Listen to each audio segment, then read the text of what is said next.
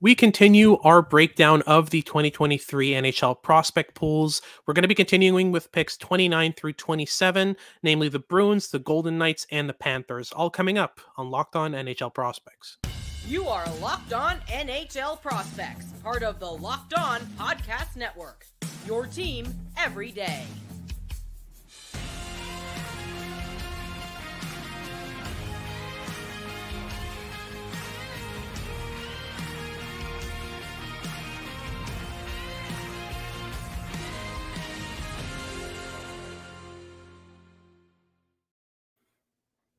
Hello, and welcome back to Locked On NHL Prospects, part of the Locked On Podcast Network, your team every day. On this podcast, we break down everything prospects related for you five days a week.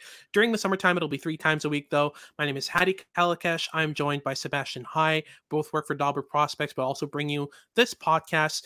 Now, Sebastian, we'll be continuing with the uh, top, well, we'll picks 29 to 27 of our top 32 for uh, the prospect pool rankings. We started off with uh, the Isles, the Lightning, uh, and the Pittsburgh Penguins, and now we're moving on to. Uh, we'll start with Boston here at 29. I know you wanted them a bit lower than than 29. Uh, you thought they were kind of a bottom three ranking. I can see where you're coming from, but I still believe deeply and profoundly in uh, what Fabian Lysell brings to the game. Um, what do you like about Lysell, and is he for you kind of the standout prospect in Boston? He he's the only prospect that excites me in this pool, and I think that that's yeah. one of the reasons I wanted them a bit lower. Is if we're ranking entire pools, I want some semblance of depth, and yeah. uh, some of the other teams that we mentioned earlier had more depth, but Lysell is the best player that we've looked at so far. So I'm totally fine with this. I'm not at all against it. Uh, and and they were also, I mean, like like my, bot, my my personal bottom four teams are the bottom four teams that we have in our collective rankings. So I I really can't complain. Uh, is is exceptionally skilled and a a really intelligent offensive player. He knows how to break down defensive structures. He's a tremendous skater. The skating mm-hmm. ability mm-hmm. is really impressive, and uh, he, he's a fantastic playmaker. He can score goals.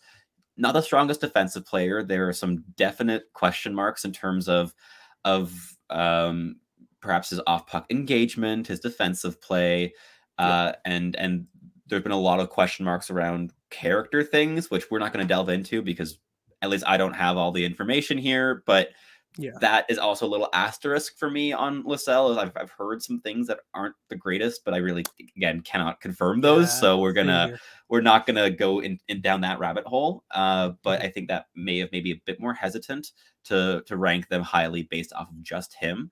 But mm-hmm. in just a hockey context, this is a really skilled player, and uh, there's a reason that that that he was always been a bit selfish with the puck on the ice because he's really really good with the puck on his stick. Uh, he can yep. really make things happen.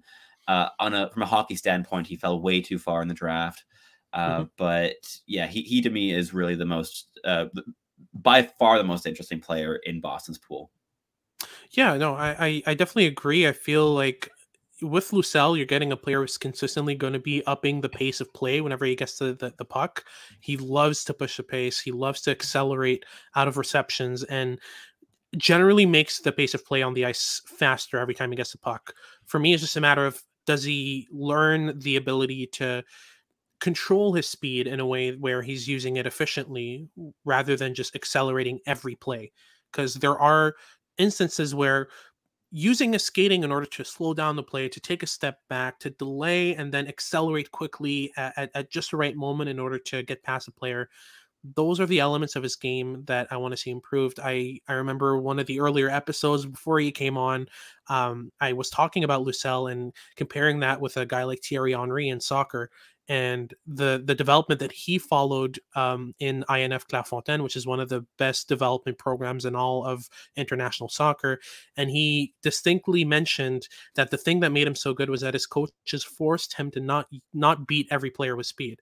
They forced mm-hmm. him to adapt, to find different ways to score, to find different ways to be effective. And that's what Lysell needs to do. He needs to face scenarios where he can't use a speed in order to to overwhelm players with with pace. That's what I'm looking for from Lysell, but I really like this skill set. Another player I'd mention would probably be Mason Lohrei. That's the only other player that I'd say has, you know, kind of is up there with me in terms of interest for players in the in the in the Bruins pool. I really I, like when.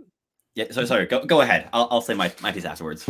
Absolutely. So I, I really like what Mason Lohrei brings to the game. He's a big guy, but doesn't rely exclusively on his strength and size. I really like the offensive game on him. He's a very surprisingly shifty and elusive and intelligent, you know, crafty player with the puck, which I was really surprised to see once he got drafted by Boston because Boston likes they like their defensemen a certain way, and when they're small, they they still play that certain way, that physical, you know, in your face, never leaving you space type of pl- type, of player. He's certainly that, but he's also got some crafty elements to his game that I really like. Very good blue line shooter. I wonder about the deception at times that does lack in certain elements, but the craftiness and transition is really evident. And that's one thing I really like out of his game. So he's one guy that I would put in that category in terms of the players I'm interested in. He's definitely not on Lysell's talent level at all, but he's certainly a very interesting profile of player that I was kind of surprised to see the Bruins pick up. And once they picked him up, I was surprised to see what kind of player he was once I started delving into his game. Yeah, I think one, one more name I'm going to throw in there too is Brandon Bussi. I think uh, obviously he had a like it was coming out season last year, right? And yeah but I've watched some of his AHL tape as well. I, have been really impressed with what I've seen yeah. from him, and goalies develop weirdly. So I think I'm a mm-hmm. bit more open to those like out of nowhere players kind of sticking to it when they're goalies compared to skaters because yeah. we see it happening a lot more often. Whereas with players, sometimes you have that breakthrough season or that one off exceptional productive season, and then mm-hmm complete regression back to the norm. Whereas with goalies, it's a bit more it's it's a bit more wacky. Uh, and and I think that Bussi could continue on that trend. Uh, mm-hmm. but he's he's the last of like the the quote unquote like really interesting prospects. But but Boston has quite a few names that we find intriguing rather than yeah. perhaps promising. So what are some of your yeah. intriguing talents here? Definitely Matthew Poitras out of the Guelph Storm and Beckett Hendrickson, who uh, will be developing with the, the Sioux Falls Stampede next year. Those are two guys that are very particular in the way that they play. Beckett Hendrickson is one of the best playmakers out of last year's draft, but is just outside of that. Even his vision itself, it's his his craftiness, his setups for his passes are kind of iffy, but I really like the the ability to manipulate defenders to send him one way, pass the other, and especially the accuracy and precision and his ability to spot lanes that other players wouldn't. I really like that out of him. It's just outside of that skill set, what does he bring? He's not necessarily the quickest skater, not necessarily the best defensively, not necessarily the most physical player. There's a lot of areas in this game that are lacking, but if you can build around his specialized skill set as a playmaker and make him just a pure connector on the line. You can pair him with a sniper and just have a fantastic one-two punch of um, one guy who sets up no matter what happens, and one guy who scores no matter what happens. It's a great lethal duo. You can build off of that, and building off of that, we've got Matthew Poitras, who for me is a very good scorer, decent two-way player, but none of his nothing in his game necessarily stands out. Um, he's a very kind of jack of all trades type of mm-hmm. player. Um, and you can stick him in any role; he'll probably do a decent job. I just have a, a, lot of trouble projecting him to the NHL as anything past a third liner. I don't know if you agree with that. I I I don't even know if third liner is what I'd project. I think fourth line is most yeah. likely, uh, mm-hmm. and third line would be optimistic. Mm-hmm. No, absolutely, yeah. I fully agree. So those are two guys that kind of put in that category. Maybe Jackson Edward as well, another defenseman out of the Vegas Golden, uh, out of the wow, the London Knights, uh, and he's one guy who I've been on and off in terms of my viewings of him. I've watched him a lot in passing, and I feel like every game I'm watching a different player. So I'm having trouble nailing down what he does best.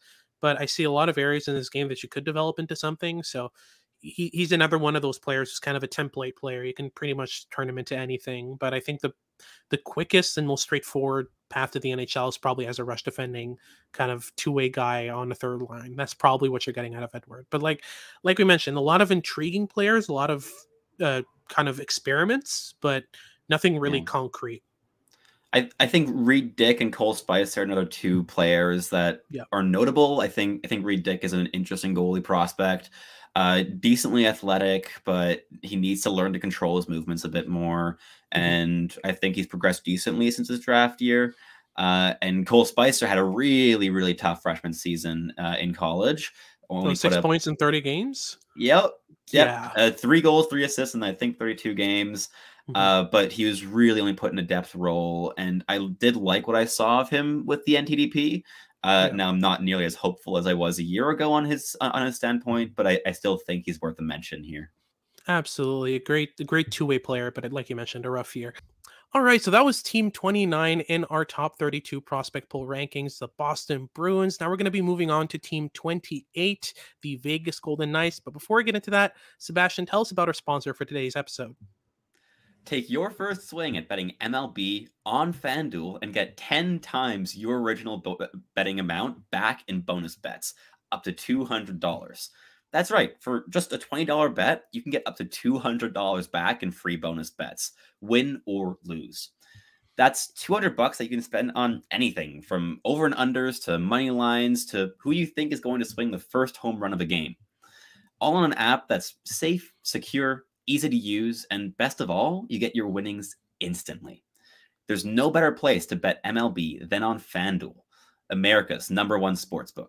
So sign up today and get uh, and visit fanduel.com slash locked on to get up to $200 back in free bonus bets. That is fanduel.com slash locked on. FanDuel, official partner of Major League Baseball. Alrighty, so moving on to our team number 28 and our top 32 prospect pool rankings for the NHL. We're going to be talking about the Vegas Golden Knights. Now, Vegas has a decent pool with I, I, think a decent amount of depth nothing overwhelming um, but for me it's the prospects at the top end that i like very much. Um, nothing really for me to the level of a fabian lysell but a lot of decent bets to to have kind of that second pair second line middle six upside so um, who's your favorite out of this bunch so far? I think it has to be brendan brisson uh, he's kind of the last remaining player that was among those first uh, Vegas Golden Knights first round draft picks that has remained and hasn't been traded away. Uh, but he is an exceptional shooter. He has a great one timer. Uh, I thought he was excellent in Michigan. I thought his his debut season in the AHL was perhaps a little bit more lukewarm than I'd expected or hoped. Yeah. But this is still a player with significant middle six upside down the middle as a center mainly as a goal scorer, but he's a decent distributor of the puck. Uh, he can he can drive a line uh, in that middle six role. I think if you get a line driving three C out of him, who could be a PP one or PP two trigger man, I think you're getting a decent decent piece with Brisson. Now, there's a reason that Vegas is lower down on our rankings if that is their best prospect. But I do quite like him, and I don't see any other names in this pool that quite come close to him for me personally, the only other player that I would have in kind of the same conversation uh, would be Lukas Cormier. For me, I'm, I'm very sold on what he brings to the game. The offensive game is off the charts. Uh, his ability to manipulate lanes, to hit players in stride, just the accuracy of his game overall. He's a very efficient distributor his passes rarely miss the mark and they hit players in stride in a way that they never need to really slow down. They can just put their stick on the ice and they can trust Cormier to hit them in stride, which is really, really good for breakout defensemen. I like the skating ability on Cormier as well. He's improved his defensive game a lot as well. So he's one other guy that I kind of put in that category.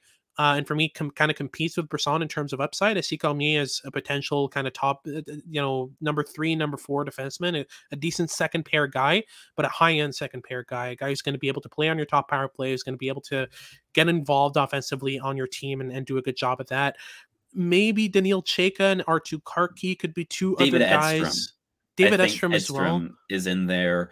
I, I like the fit with Edstrom because yeah we, we've seen Vegas have a very clear identity for their third line for a long mm-hmm. time. Mm-hmm. I think guys like Keegan Kolesar um, and uh, players of that mold, William Carrier as a fourth liner, but mm-hmm. they have some really like fun, high energy, uh, intelligent, defensively responsible players in their bottom six, and that's kind of what they've been trying to build up as their bottom six to kind of support in terms of intensity and defense when their top six can just go and score their goals. Mm-hmm. And I think Edstrom fits really nicely into that. I don't I don't think he's going to be a top six piece, but he doesn't have to be with Vegas. They just won the cup and he yep. won't have to be a, a, a game changer for them.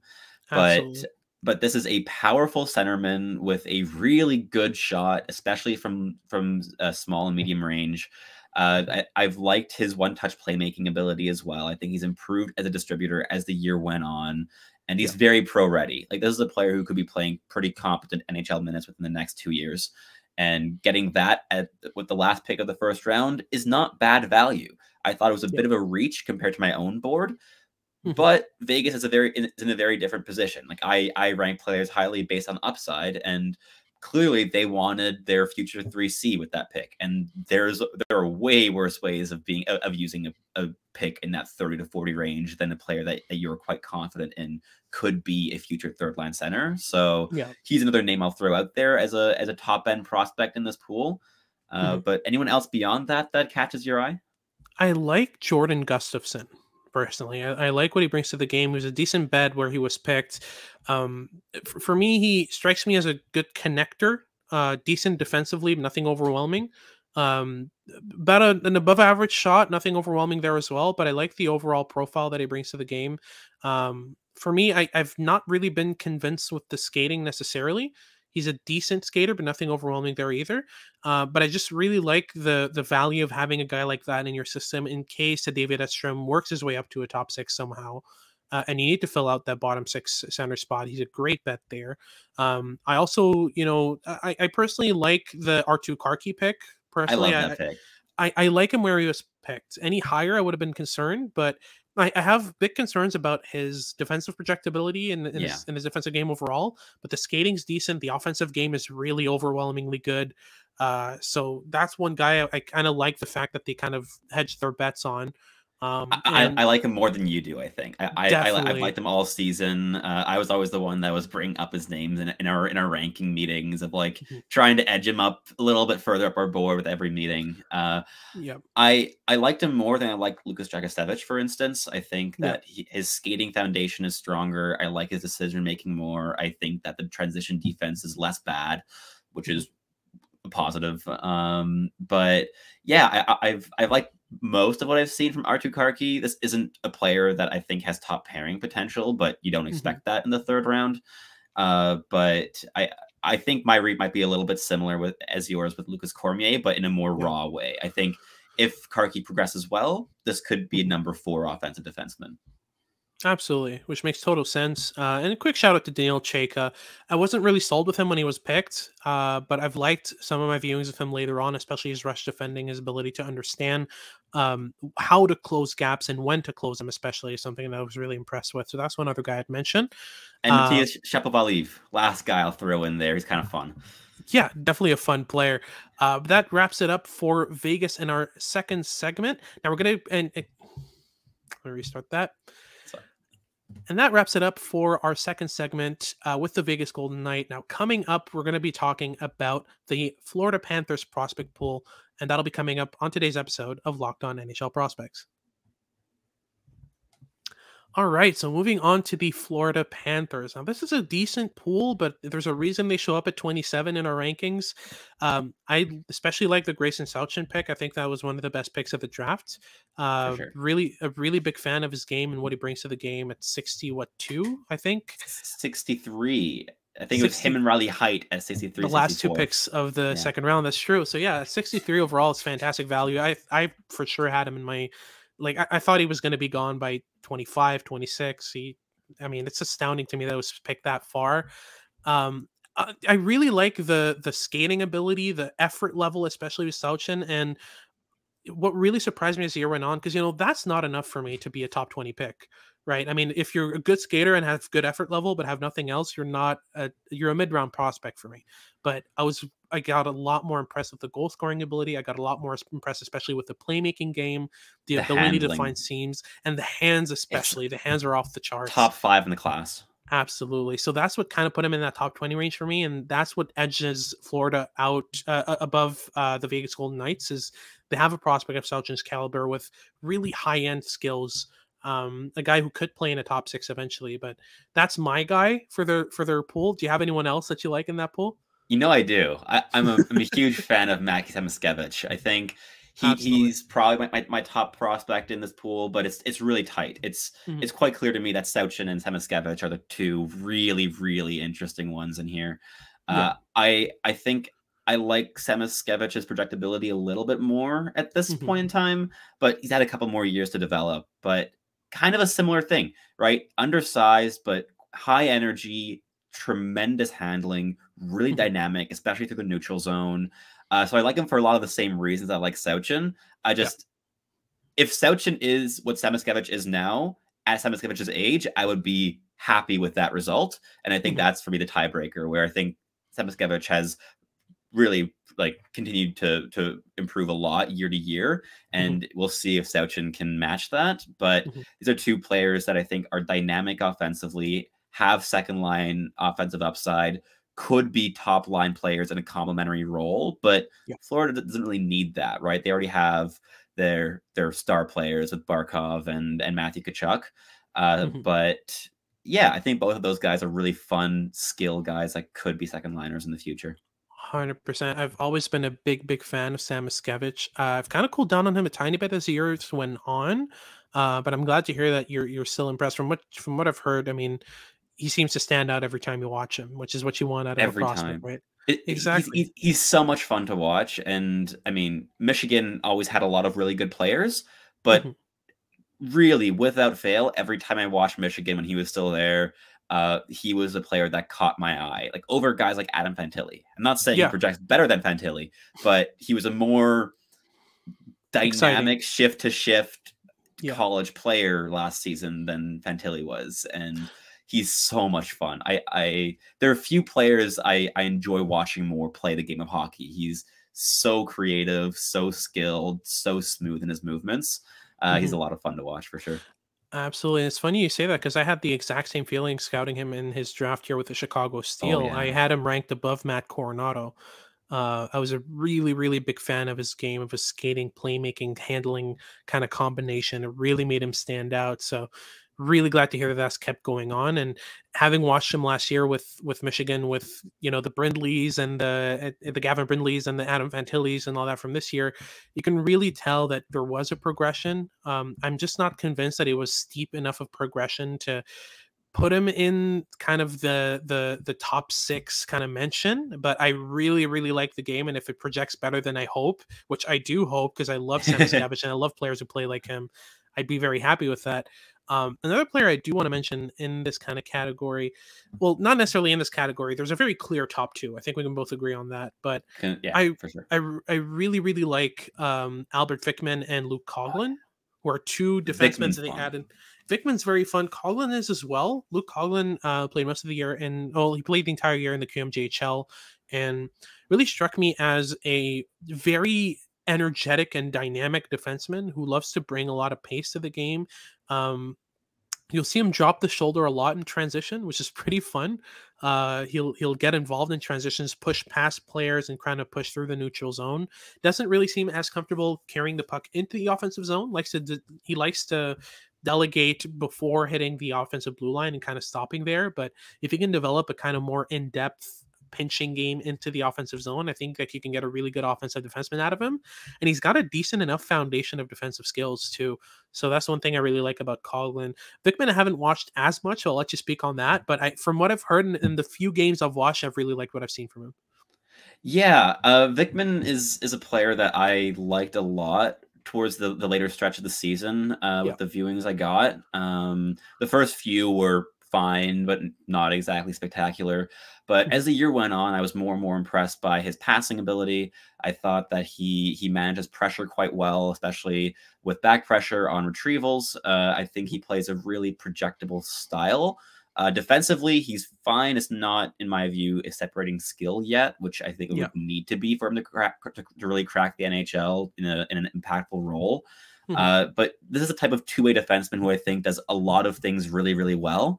I I think if we're talking NHL comparables, I'd be thinking players like Brett Kulak, for instance, who are perhaps subtle in how they play the game, but are deadly effective and can really elevate good line mates as well. So he's a player I've, I've liked a lot for quite a while. And the last name I'll throw in, who I think is actually better than those defensemen, is Justin Sourdif. I think Mhm. Sourdif is a really skilled player who has improved a ton since his draft year, which was what 2021, I want to say, or 2020. But he's he's progressed a ton since then. Uh, the the skill has been popping off a lot more consistently, uh, and and he's he's a fun player. So I'll throw him in, throw his name into that into that mix as well. But uh, there's a lot of players here that are fine, but don't like really, really impress me too much. Guys like Jack Devine and Evan Nause are good prospect pool filler players to have, but mm-hmm. uh, if we're talking true NHL upside, probably restricted to bottom line, bottom pairing roles. Uh, but are there any other names that catch your eye here? the only name for me that puts them above the Vegas Golden Knights because they have pretty similar prospect pools. For me, it's really uh, the the addition of Tyler Muszelik from last year's draft. I think that that okay. is the separating factor because I don't see anyone in the Vegas. I mean, I I I like Cameron Whitehead. I don't like him as much as Tyler Muszelik in terms of goaltender prospects, and that's the separating factor for me. Is on top of having Spencer Knight, who isn't a prospect anymore, but is very very young and will probably be a a major part of the Florida Panthers core for the next 10, 15 years. They've also got Tyler Muszelik in the back pocket who could he has the potential to be a starter. I really like what he brings to the game. I've loved this tape both internationally and in the uh, and in the USHL. So there's a lot to like about Tyler Muszelik, and I think that with enough time you could develop him into a starting caliber goaltender. And if you have that as your backup, holy crap! I mean, the Panthers will be well set up in net. Uh, so that's one guy that I would kind of put in that category. But other than that, there's a reason they're at 27. Uh, I think we can both agree yeah. So that wraps things up for uh, today's episode. Thank you very much for tuning in. If you're if you like what you've been watching make sure to like and subscribe if you're watching on youtube. Uh, leave us a comment saying uh, what your favorite team is who your favorite prospect is and who you want us to talk about next. And if you're listening on your favorite podcasting platform make sure to make us your first listen of the day. For your second listen of the day make sure to check out locked on sports today. They got all your updates and news about the recent sporting events what's going on in the sporting world so make sure to check them out. And make sure to tune in for our next episode this friday which will be about teams 26 through 24. Again, we're not going to be teasing them, uh, letting you know who those teams are. You'll have to tune in for that. Well, this has been Hadi Kalakeche with Sebastian High, and we hope you tune in next time.